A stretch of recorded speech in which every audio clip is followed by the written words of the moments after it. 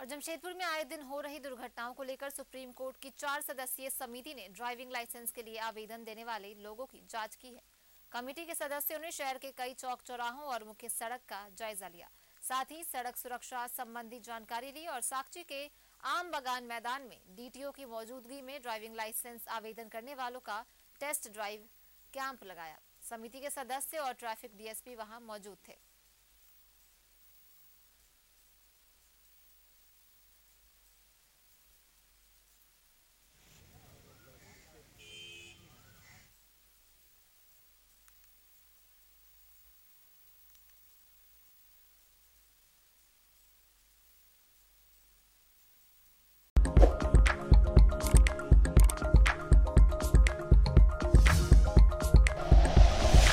Like and share videos, subscribe करें हमारा channel और प्रेस करें बेल आइकॉन न्यूज़ 11 भारत सच है तो दिखेगा।